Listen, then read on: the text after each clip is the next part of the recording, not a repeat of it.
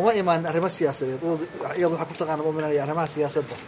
Barnaamijka u yimaada waxay ahayd horumarinta kaabayaasha dhaqaalaha puntland oo ay ugu horeyso qeybtii labaad second facekii mashruuca boosaaso ay ka mid yihiin mashaariic horumarineed oo ay ka wadaan dalka uu ka mid yahay mashaariicda dhanka kalluumaysiga ka mid yahay mashaariic la xiriirta dhanka security-ga barnaamijka loo yaqaano mase maritime security.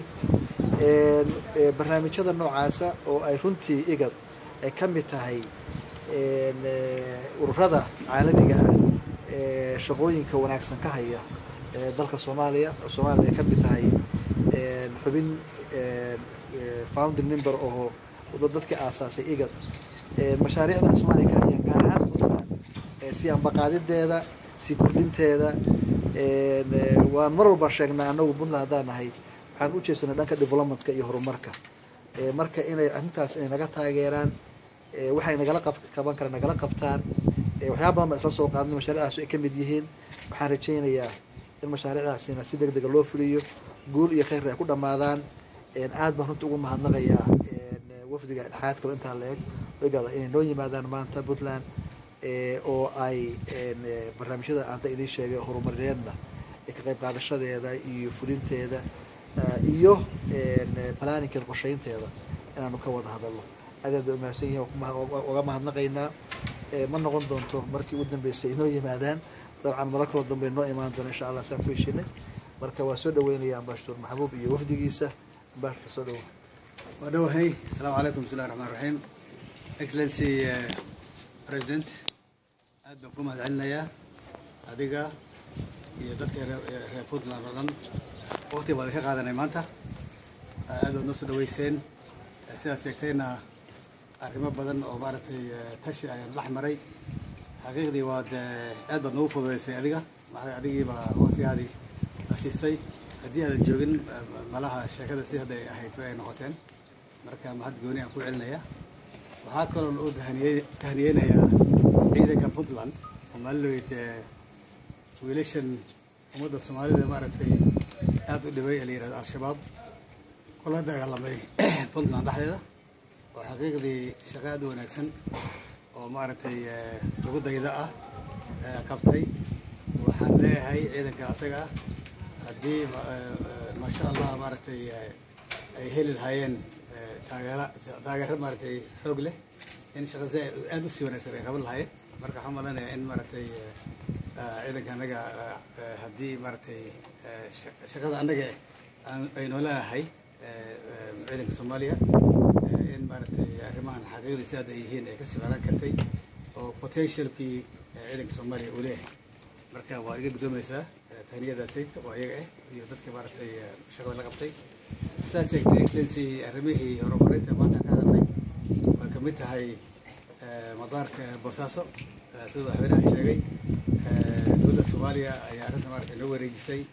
Madaxweynaha puntlandna maaragtay wuxuuna sii siiyey nafaas weyn oo aan maaragta kula shaqeyno.